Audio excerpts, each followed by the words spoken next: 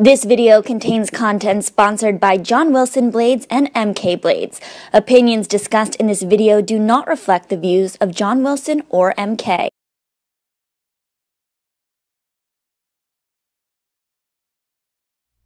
Well, hello and welcome to the skating lesson. I'm Dave Lease, and I'm thrilled to welcome Coach Tom Zakrajsek. Tom, I just read your book. Why don't you show the book to everyone and tell us about it? Okay, here's my book.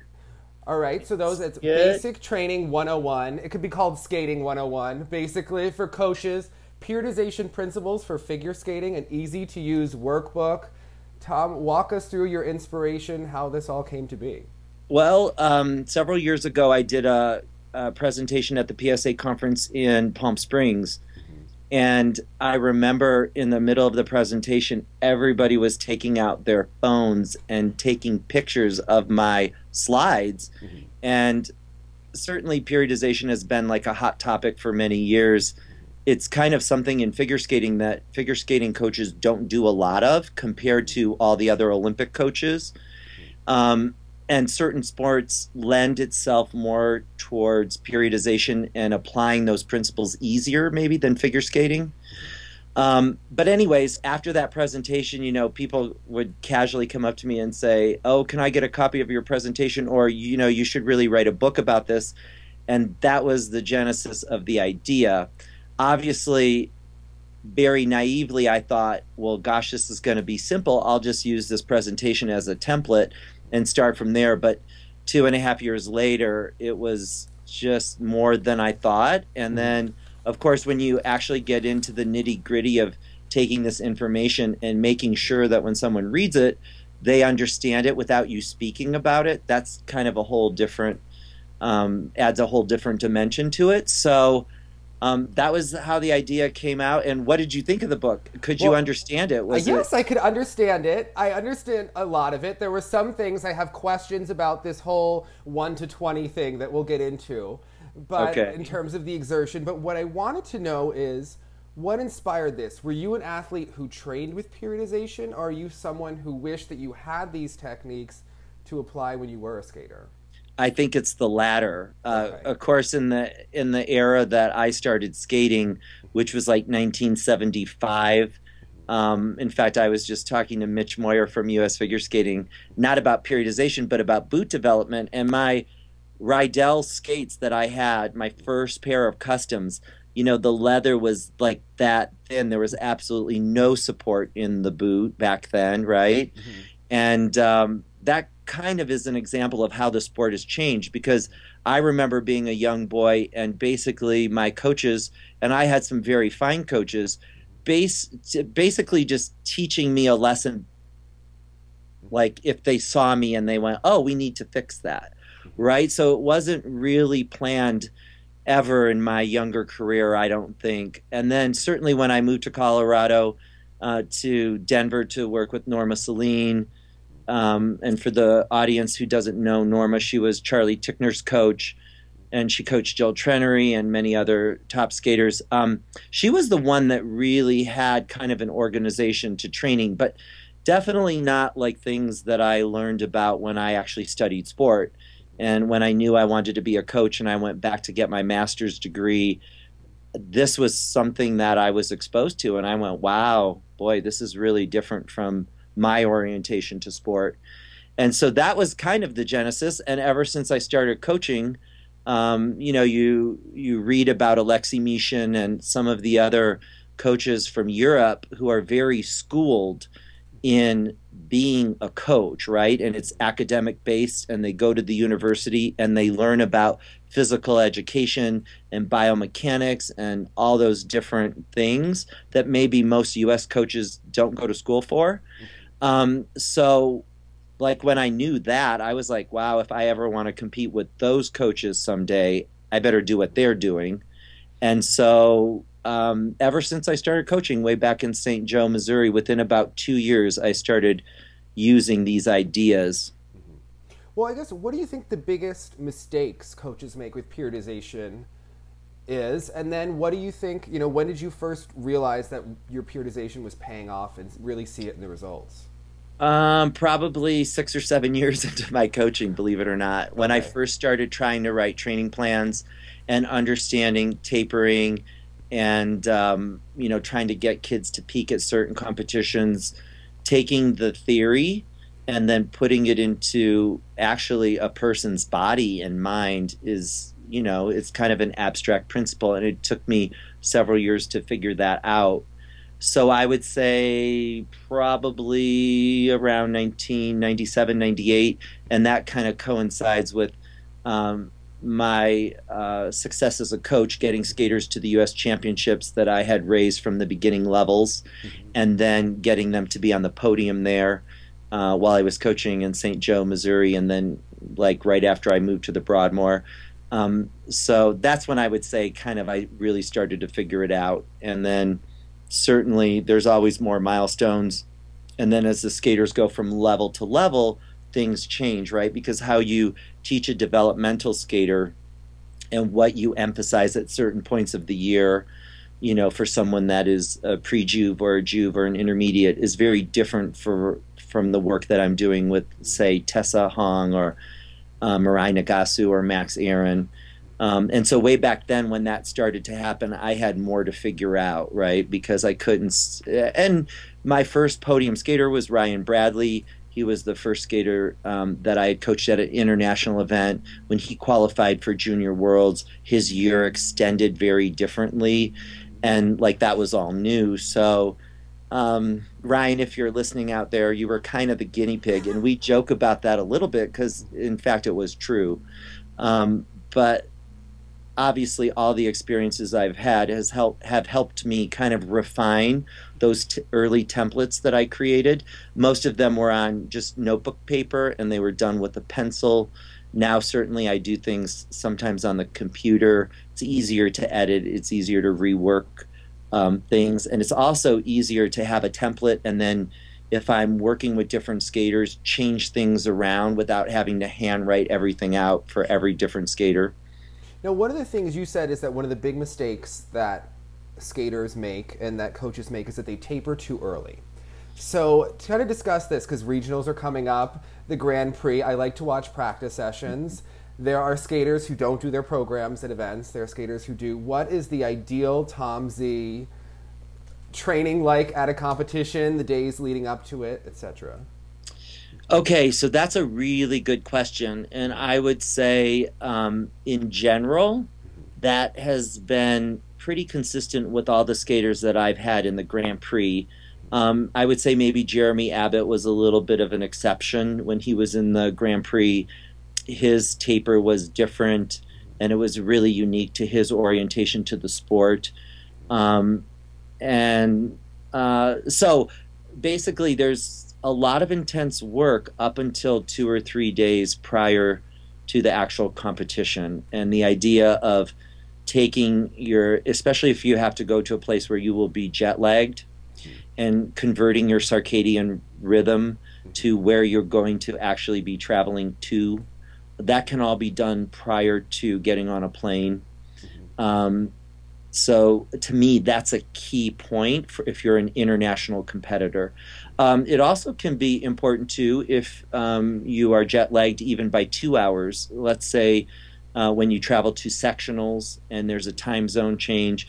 You know, sometimes people think, oh, you're only jet lagged if you cross the ocean, and that's not necessarily true. Anytime your sleep schedule changes, you get jet lagged. Your body will feel some effects.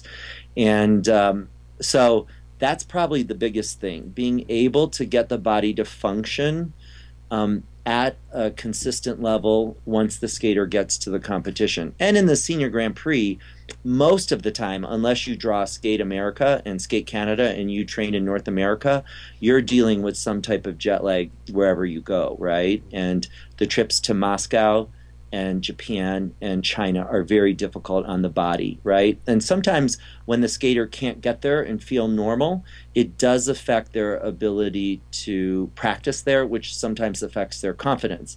When they're jet lagged, they tend to want to do a lot less than what their body's normally uh, conditioned to do, and actually keeping that conditioning and that activity the same is one of the keys to performing well when you travel overseas.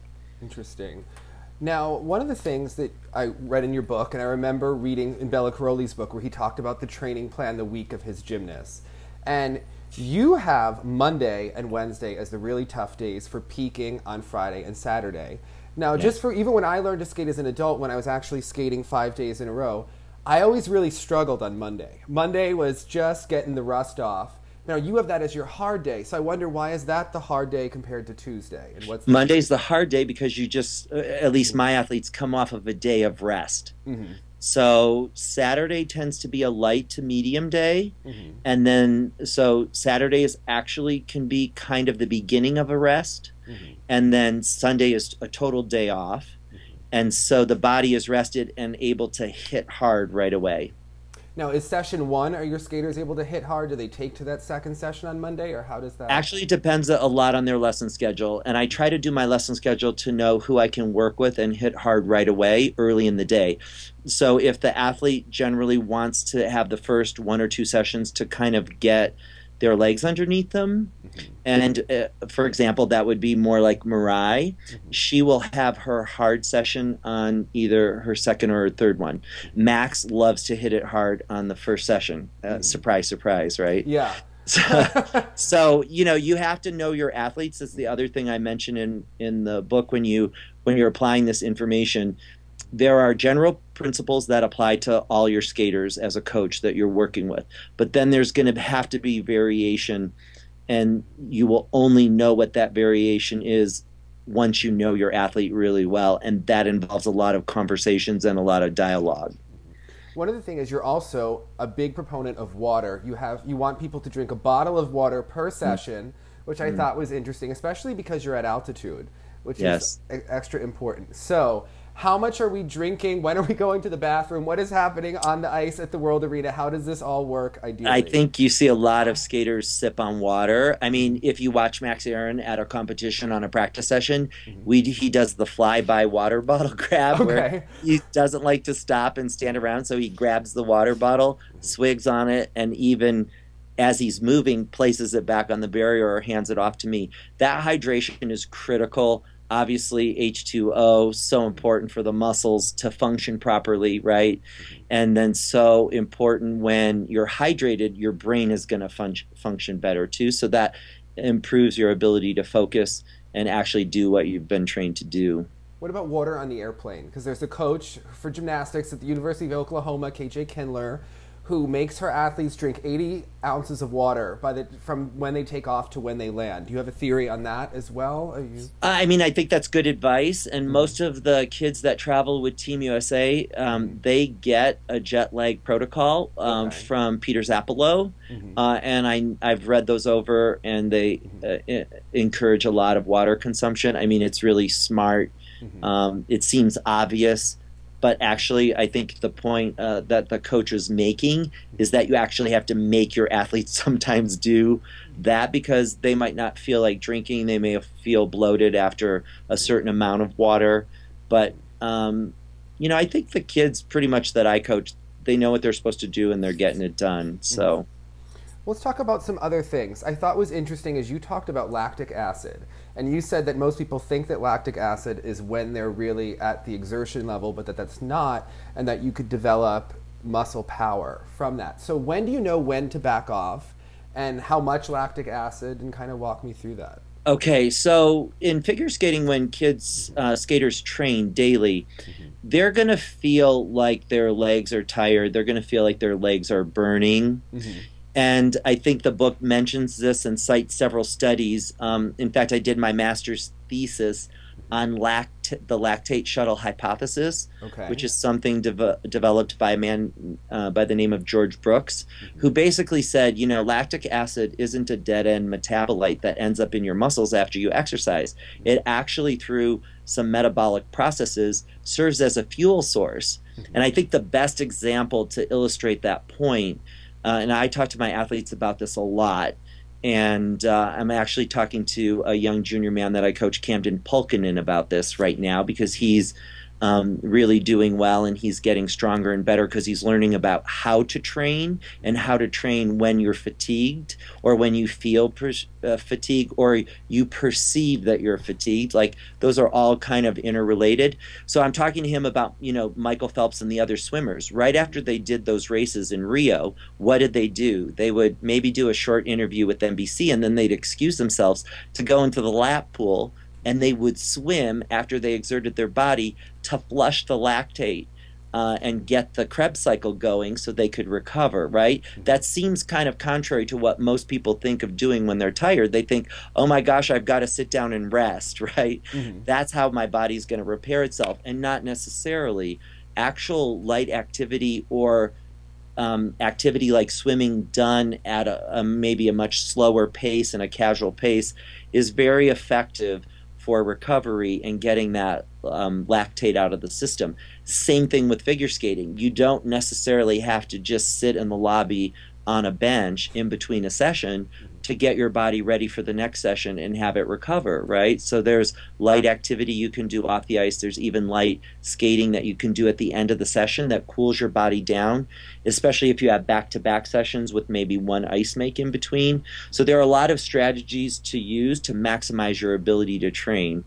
Um, but I think that's a critical one. I, I don't know about other coaches around the country, but certainly for for my athletes, no matter what level they're at, that is something that they have to be educated about. And then i mean we may call that something as common as you know pushing past your limit or you know you know hitting the wall and working through the wall you know breaking through that wall. That's kind of layman's terms to describe a complex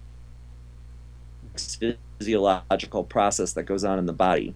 Hmm. but it is doable now, and if you're wondering how all the if you're wondering how all those top skaters back end load their programs, yeah, right. If you're back end loading a lot of jump content like Yuzuru and Yevgenia, the way they do that, they are really working that system, right? They have to be. There's no other way to train the body to tolerate that. So your athletes do laps after their programs, and you wrote about this, and I wanted to know when do you do they do then corrections of mistakes right after of jump repetition say if they missed it in the program? When do you do that and how do you feel about jump about double run throughs are they beneficial or are they not as beneficial? Yes to all of that. Okay, okay. so let's talk about laps first. The yes laps in general but then there's also those laps will be varied as that section talks about. You have to be able to mix it up Sometimes they do it with those power shoots mm-hmm. uh, that you saw when you and Jenny were there last summer. Mm-hmm. Some di- sometimes they do the laps clockwise. Sometimes they just do one lap. It depends on where they are in their training cycle. So that's something that though the concept is standard, there has to be variation with how it's implemented. And certainly the laps they do in the summer versus the laps they do the week before they leave for the Grand Prix are not the same, right? Yeah. That seems obvious. Then the other thing you just mentioned was the double run throughs. Oh, also mistakes. So when oh, you so correct mistakes. the mistakes? Yeah. So same thing because early in the season when they're learning their programs and beginning to train their programs, it's not smart when they're really super duper fatigued to have them redo their errors because that could cause an injury, right? So there had that that application of that has to be at the right moment. So they have to have a baseline level of conditioning, and then you're asking them to push through and develop some strength, redoing the elements they missed while they're fatigued, right? So again, it's all about the timing. And then the part about double run throughs, absolutely. Um, in Colorado Springs, sometimes they go back to back. Max has a history of having done that, not maybe within the last two years, but maybe within the last four years. Um, sometimes he would do back-to-back run-throughs. Um, I will tell you, Mirai um, has been doing a lot of that this season, back-to-back run-throughs. She has been training so hard and making her heart and her lungs so strong, so that you know that last half of the program looks easy and and projects itself as you know high quality. So you know it just depends. You know is Max doing double run throughs now? No, he doesn't really have to, though. He is in impeccable shape for other reasons. And then that's the other part of training in Colorado Springs. There is a high altitude training advantage mm-hmm. that skaters feel when they return to sea level. And, um, you know, that's just one of the benefits of, of what happens to figure skaters that train here. So let's talk about. You mentioned Max, you mentioned Mirai and Tessa. You obviously have your training plans, of which you said there are five big macro cycles that we you need mm-hmm. four months to get ready for the competition. And you talked about, I want to know what is the plan for them? Obviously, you're looking at performance of what you hope they do on the ice. So with Max, I know that he's trying to put in the quad toe. Is the quad toe in the plan for nationals? And kind of walk us through what the plan is, and at what point does he need to start hitting that, and which cycle if he wants to do it later on in the season? Yeah, so we did a lot of training of the quad toe this summer, and he actually performed it in the short program with the sow at Champs Camp. Mm-hmm. Uh, obviously, not a lot of people saw that because Champs Camp wasn't open to the public. Um, and then it was on the docket for Lombardia mm-hmm. uh, with not a lot of success in the program, in the free skate, but definitely some success on the practice. Mm-hmm. So, um, not surprising that it's now on the back burner mm-hmm. till probably uh, my guess is after China. That's mm-hmm. when we're going to bring it out again. But in the meantime, he's, and I don't know if you've been following um, Instagram, he's been working on the quad axle. I saw that on the harness. Yeah. yeah, because we're pretty confident, especially after watching Nathan compete in Finlandia, that it's not really going to be. Um, you know, just a one quad program with high GOE and great components that really you know, makes an American man stand out on the world podium. It's going to be a multiple quad program, um, and and we're gonna do some observing through the Grand Prix and see exactly who's doing what. But I think certainly we have benefited from Nathan Chen training uh, at the World Arena, even as he recovered from his injury, and we knew that he was doing Lutz and Flip really as early as June, uh, late May and June. So to see him accomplish that, um, you know, in Finland was was quite amazing. And we only anticipate that he's going to get stronger. Right? He has got a tremendous work ethic, and um, I think that's obvious. So um, you know, Max is able to do the toe. He's actually able to do the quad loop too. He did it when he was invited to the Stars on Ice tour. I think anybody who was in that tour and saw him practice, um, you know, with that gang of skaters, whoever that was, right after the Olympics, saw him do quad loops there. So he's capable of a lot more than he's shown.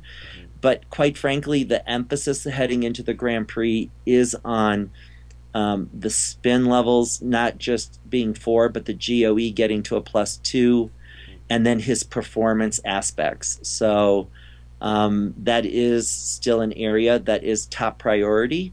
And we feel confident because Max has experience with the quad toe even in 2013 and 14 that interjecting that one jump isn't going to be or two jumps isn't going to be that difficult for him provided that everything else has been raised to a level that's podium standard. Let's talk about Max's quads for a bit. Last year, you were always on him committing to the quad sow triple toe combination mm-hmm. for commitment day. That was his big thing that he yes. had to do it because he would always do quad double. Yes. How is that going in his training? And why is the quad sow easier than the quad toe for Max? Is it just the takeoff that he likes? Or? Um, I think just technique. I think when Max was a young boy, from what I understand, um, he didn't necessarily um, commit to figure skating at a very young age and so he was always skating and doing hockey, but kind of self-taught. Mm-hmm. Um, you know, maybe his sisters got more attention, and so he was, you know, maybe short on lessons and a, maybe a little bit short on dedication while he was a hockey player and he was kind of just dabbling in figure skating. So he did a lot of self teaching, which creates some difference in technique, especially for picking, right? For picking on that toe and the sow doesn't have that, right? So he's able to manage that takeoff just a little better, right? Um, and so I think that's probably the biggest the biggest thing for Max. And yes, he uh, quad triple is still a huge part of the commitment day for Max and I think last season was a big turning point for him. He's certainly doing quad triples in practice, Um, but I think he he has a lot more confidence after his success last year at so many competitions, performing so consistently and doing the quad triple so consistently. So um, it's maybe a tad bit less of an emphasis right now. Well, I read your bio in this book, and it says that you've taught more triple axels and quads to different men than any other coach. How did you count that? What is the number? Are how close are you and Alexei Mishin? I want to know how you determine this. Yeah. Um, probably just through observation. Okay. So, and just through, like, you could go to my website Mhm. in my detailed bio, and it'll list all the skaters that I've taught those jumps to, and all of, um, like, whether it was an axle or a quad, and all the quads that I taught them. Okay. And um, I think just looking around the world, it's kind of easy to figure out. And you're right, Mishin may have a claim to that, but I don't know if he has a claim. I think you two would be the ones that I would think of. It would come to mind. uh, so n- with no disrespect quad? to him, but Yeah. Who was your first quad? uh, first quad. Ooh, I think it was Ryan Bradley, quad Mhm. toe. He learned the quad toe and did it at Skate Canada before he ever did his triple axle. Actually, Okay. you'd have to go back uh, many, many years. Mm-hmm. So I think he was the first quad. Now, do you think that the in in past, you know, the toe and the sow have gone back on the point values? Which do you think is easier, the toe or the sow? Well, I think again that depends on the skater, Yeah. right? I think mo- in general you see a lot of quad toes Mhm. because in general I think most skaters would feel that the toe assist helps them vault into the air and have the air time, right? Mm-hmm. Um, but I think you're starting to see more quad Salchows. Mm-hmm.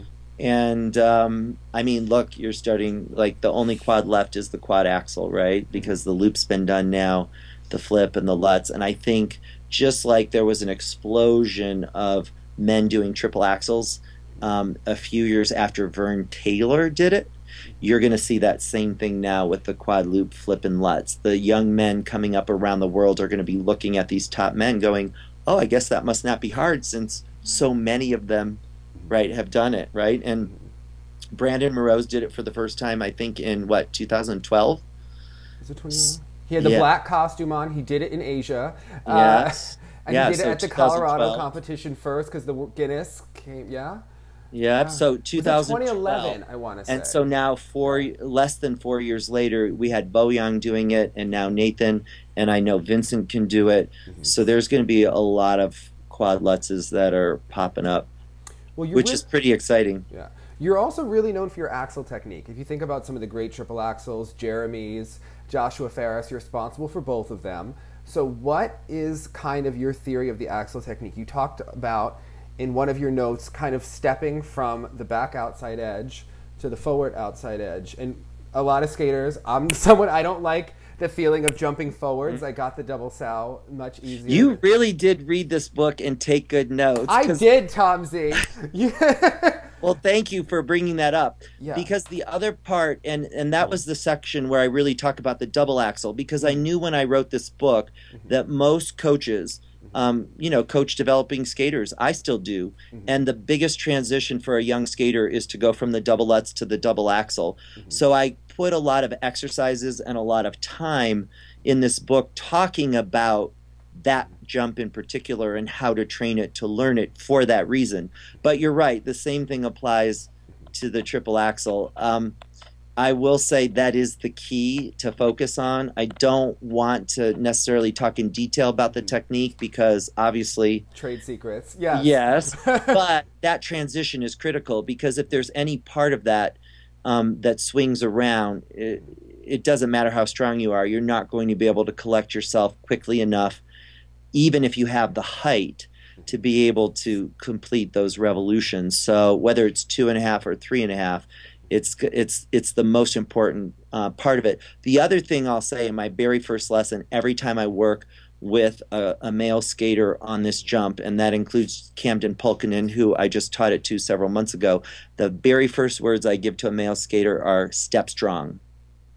So how's that for a tip? Right, That that, is a step good tip, has to be yes. strong. Well, I also you talk a lot about um, you, in some of the plans for the juvenile skater, you talked a lot about the body position you want in the air, how you want the head not to move, and you said elbows down. Now, I remember looking. Mishin at one point sold a vest where he wanted the arms and the and it showed like where he wanted his hands. I know Frank likes them to the right, hugged in like this. You say elbows down. Do you have a preference on where the hands are? Uh, so, okay, so elbows down can apply to Mishin's technique, Frank's technique. My preference of symmetry uh, in the air, and I think I have a, a picture of Tessa Hong mid-flight.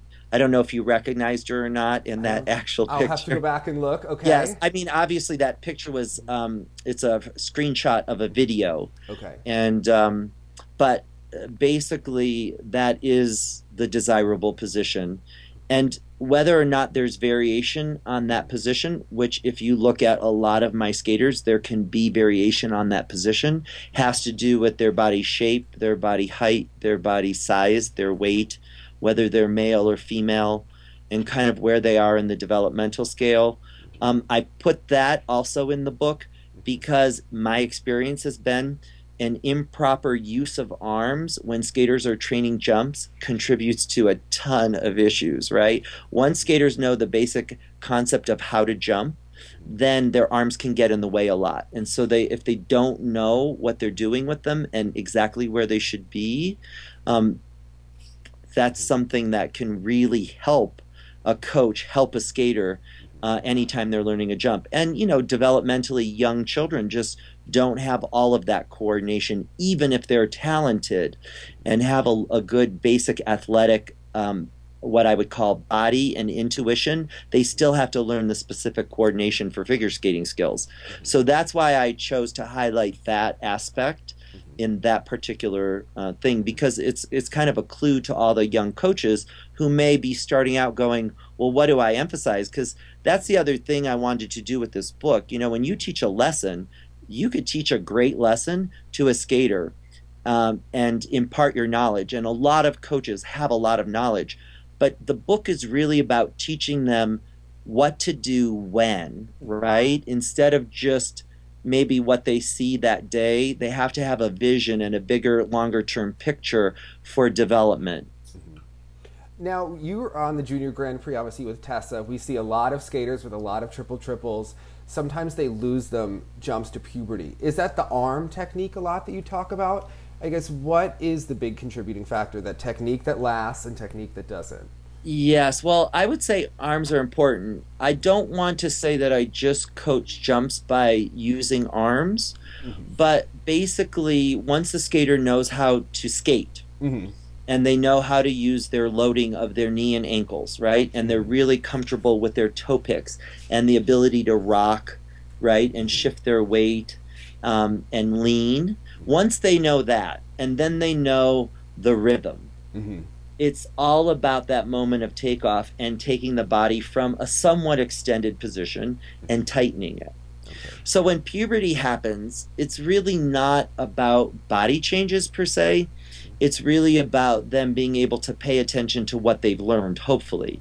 And so that's the other tip. When you mentioned Jeremy Abbott and Josh Farris, another tip on triple axels is get it in the muscles as young as possible, right? Mm-hmm. And I'm not the pioneer of that. I've certainly followed the lead of Alexei Mishin and a lot of other great coaches in Japan and Russia and even in Canada um, who have really taught triple axels to a lot of men when they're young. I mean, even Elizaveta, we know, had a triple axel uh, when she was a younger girl.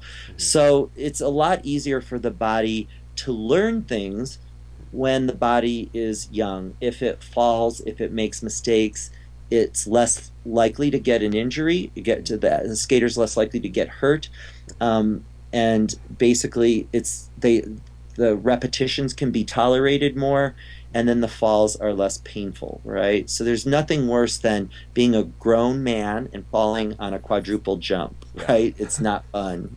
Well, I haven't. no I'm imagining. Yes. so yeah. Well, you say about you know you want to get the triple axel young. Now, in real life terms, Mariah is very young, but in skating terms, she's obviously a veteran at this point. This is her third cycle that she's gone through. How much did she have the triple axel in her? I know we saw videos of her doing it. Wasn't around as a kid, but Where was she? Obviously, she's been focusing on this. Yeah. Yes. Well, I think for Mariah, it was just about a technique change, basically. Mm-hmm. And, um, you know, I don't want to. Mariah has a great double axel, right? Yeah. And she has a big double axel. She always has. So it wasn't about her double axel not being uh, high or strong or fast or big or on axis, but there were some alignment issues that we had to work through. Mm-hmm. Um, and those alignment issues were so related to timing. Mm-hmm.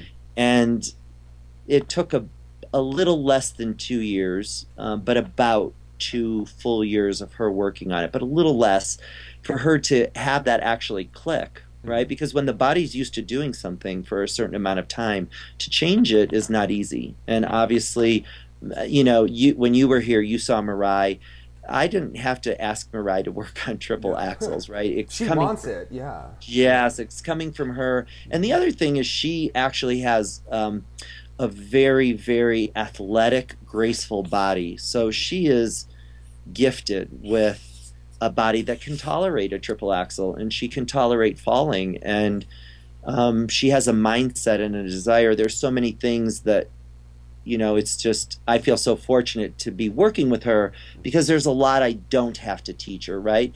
Part of that comes from her, and the other part of it comes from the great coaches that have previously coached her. So I think it was really the right time for it to click. And um, since the video that went viral several weeks ago, she's done a lot more. I know a few weeks prior to Mariah landing that triple axel, when she was so, so close, Christy Krall skated up to me and she goes, "You know, Tom, she's going to get that." I said, "I know. It's just a matter of time." So that was really exciting to have that kind of support from Christy too.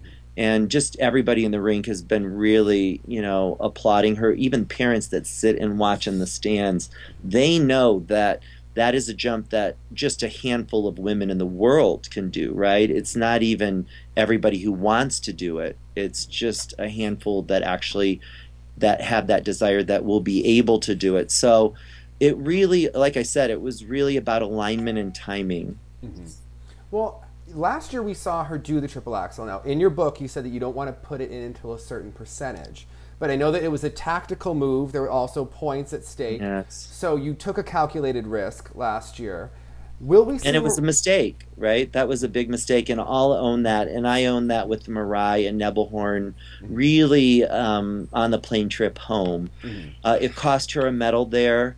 Um, she had done it in the jump event mm-hmm. um, that June. She had also done it in the short program at the Broadmoor Open, mm-hmm. and that's why we were trying it in the short program. And she had been training it.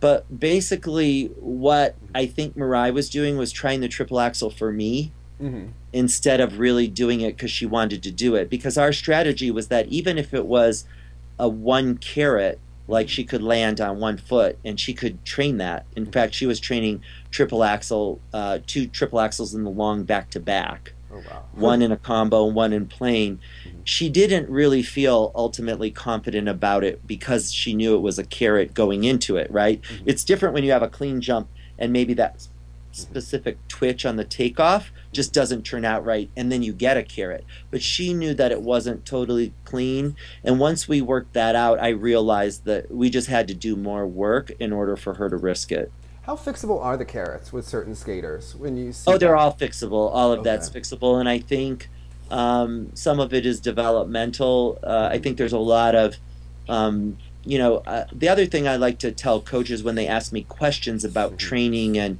my background, which, you know, I had an intense desire to study. It's part of my personality. Mm-hmm. I wanted to sit in the classroom. I wanted to learn. I also had time in the early part of my career in order to do that. But not every figure skating coach can do that. So I always remind them that every figure skating coach is a biomechanist. They are observing athletes moving their body every day, right? Mm-hmm. Constantly, all day long, as much as they teach. And so it's just a matter of being purposefully observant, taking notes, mm-hmm. talking to your athlete, um, depend on certain things. But you know, if you're just trying to figure things out, you just have to just have a good eye and watch over and over again. You know, when I was a young coach, even before I was in school, I watched videos. Mm-hmm. Um, that came from an early coach of mine, Dick Rimmer. Um, he coached, um, I, I believe, Julie Holmes in the 1972 Olympics. Mm-hmm. Um, and he had me sit down and watch videos when I was a little boy, and we'd study techniques. It was a lot of fun. I remember that being an important part of my learning, right? Jumping and understanding jumping, watching Toller Cranston, John Curry, Jan Hoffmann, Robin Cousins, Charlie Tickner, all those, uh, David Santee, Scott Hamilton. We watched all of those skaters and Denise Biellmann, I might add, because she was doing triples way back when, before any women were doing triples, right? I mean, Linda Fratianne was, but Denise Biellmann was doing the flip and the lutz and uh, almost the loop and trying to do triple toe as a second jump way back in 1980. So she was really a pioneer. So you just study those videos and you start to learn techniques. And that's what i recommend also to young coaches you know do a lot of video work. And and now it's so much easier with videos on youtube and apps and things. You can slow things down easier and you know just you know make yourself your own best scientist. Well you have a couple of competitions going up. So as we wrap up i want to ask what to look for Last year, I knew to look for Max with the quad sow triple toe. What should we be looking for him on the Grand Prix? What do you want to see from him? Okay, for Max, you want to see level four spins with the plus two GOE, and you want to see him really mm-hmm. emotionally connected to his short and his long program music, right? The yeah. short is Pavarotti, the long is the Lion King. You should see him able to express that music with his body mm-hmm. um, and also his face. That's a huge thing we're working on. Okay. As well as the quad triple. Is this still? Oh yes, yeah, yeah, yeah, yeah. Okay. If he does a quad double, he'll hear about it from me. Okay. How about Mirai Nagasu? What are we looking for in the training plan for the next couple weeks in competition? Uh, for Mirai, I mean, I don't really want to jinx her. I mm-hmm. just want to say that at nationals, mm-hmm. I um, tweeted right after she made the podium again mm-hmm.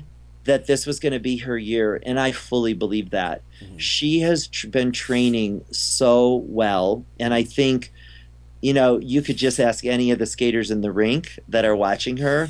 This is a different Mirai, and I think what we want to look for is that Mirai feels the competence to show that she could be one of the best women, one of the top women, not just in our country, again, but in the world, right? get her I, to smile in those programs. Yes, and also, you know, the other thing, uh, look for her to take her time and embellish each artistic movement that um, Jeff has given her and David has given her. We've been working a lot with video, working a lot with timing, working a lot with her taking her time and letting the movement breathe so that the technical things that she's doing just come out of an entire program and it doesn't look like she's just skating a clean program. It is a, a total performance.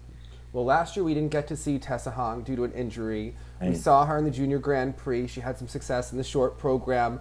What are you looking for her to do in the coming so? So I don't know if you remember, but um, or if you even know, but um, after the Broadmoor Open, Tessa was very impressive there, mm-hmm. and then she had a, a minor injury, mm-hmm. and so she didn't get to train the whole summer. Mm-hmm. And so, what you should look for um, with Tessa at sectionals is to be a whole lot stronger. I mean, I think the Broadmoor Open showed everybody who follows figure skating and who was tuning in early because she beat so many of the top US women there that competed anyway and she wasn't even in peak shape that she can be a real contender, right? Mm-hmm. She just she's just using the time now since her opportunity in Estonia to get really back into her training, right? And uh, and then I think we all know what she's capable of when she's trained. And uh, how about your junior man? What was his name? And uh, what was you? Pulkinen. And what is the goal for this year? With uh, I mean, obviously, he was at nationals last year in junior. He learned a triple triple this year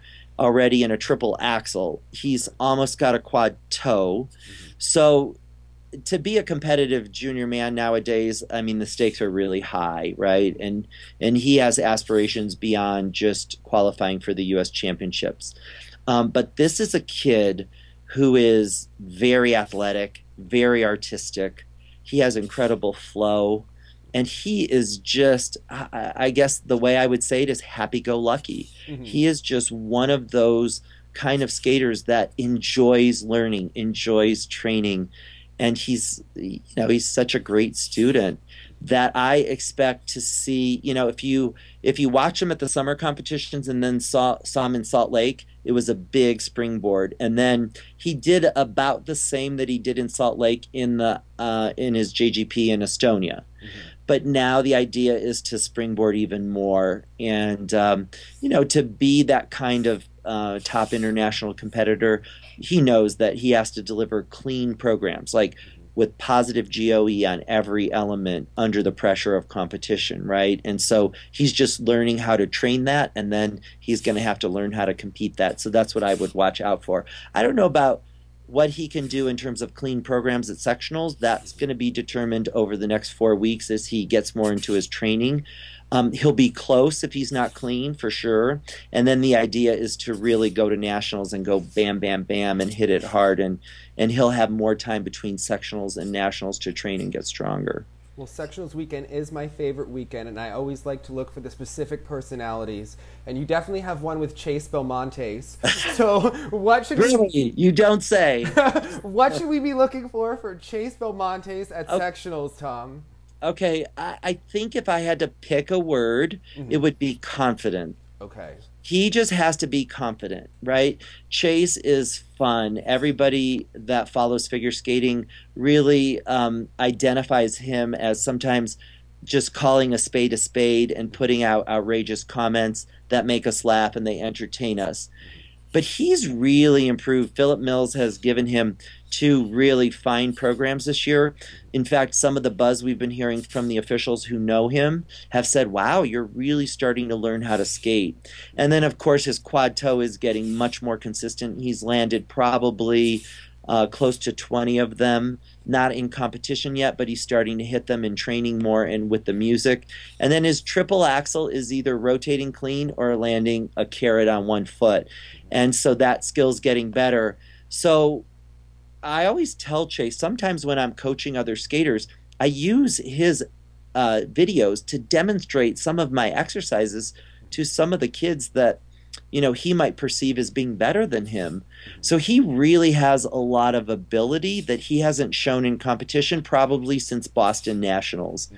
And so for him to just feel the confidence to know that he's capable and, he, and that he can deliver the programs because he also is one that trains at a higher level than he will compete at. Mm-hmm. So we want him to feel confident in that competitive moment Well, thank you so much, Tom. I recommend. oh i can't leave out tj nyman yes, TJ Nyman. Yes. What are we looking from TJ? Uh, well, TJ also, he's another one that is just learning how to train at a higher level, right? He's, um, his triple axel is hugely consistent since Salt Lake. And that was really his first competition since coming back from an injury that he had last season where he didn't even get to compete. So he's also going to look to throw down some close to clean programs or clean programs at his section. And um, I know his uh, short program to Michael Jackson has been re choreographed by Drew Meekins. And I think the program and the music selection really suits him, and it's even better now. And um, the funny thing is, I've got so many skaters doing Jekyll and Hyde in the rink. He's got along to Jekyll and Hyde. Chase has along to Jekyll and Hyde. And Becky Peng has along to Jekyll and Hyde. So we're a little bit Jekyll and Hyde out Okay. in our rink, but I think TJ's take on that program is um, really powerful. And if he can hit, um, improve his spins and hit his uh, his big tricks, he's going to really post some highly competitive scores that would make him like really um, considered for an international assignment this spring as a junior. now, what section is he in? What section? He's in Easterns. He's in Easterns. Chase is in Pacific, right? Coast and Camden's in Midwest with Oh. also Luke West, another skater that I coach. Oh. Um, so yeah, we've got them spread out. Any young hot shots for us to pay attention to as well? Um, well, the the picture that I posted, on Instagram. The Kerrigan Spiral, yes. BB Stubblefield. This is a little girl who's seven. Um, she already does double loop, double loop. She does all the doubles. We're working on double axel on the floor. She is not in a qualifying position yet, mm-hmm. but certainly um, kind of with her ability and talent, maybe three to four years from now, she could really be giving the Japanese and Russians ladies a run for their money, right? Well, what is your MK moment of the Junior Grand Prix so far? What what, what impressed you the most, Tom? The Junior Grand Prix. Oh, it has to be the Korean boy, right? Yeah. In um, See, I like Marin Honda, Tom. Okay, uh, that is. I don't know what blades he's in. I don't know if it has to be an MK. It skate. doesn't have to be. Yeah. But... No, because it was the Korean boy, and when I saw Brian Orser mm-hmm. um, in Montreal, uh, I congratulated him. I mean, not only did he skate in a moment where he needed to skate, right, against mm-hmm. Vincent Zhou, he just like threw it down. Mm-hmm. So, you know, and that's not easy to do. Mm-hmm but um, he won his first Grand Prix medal, right, mm-hmm. and gold medal for Korea as a male skater. I mean, that's a huge, huge accomplishment, and such a great thing for young Korean boys around the world and young Korean boys in his country, and a great thing for figure skating, right? It just shows that you don't necessarily always have to come from a big, major skating nation to to be a success. So that would be probably my junior Grand Prix moment. All right. Well, we thank you so much. Look forward to seeing you throughout the season. And everyone, pick up Basic Training 101 by Tom Z. Tom, thanks so much. Thanks so much, Dave. I so appreciate it. Yeah.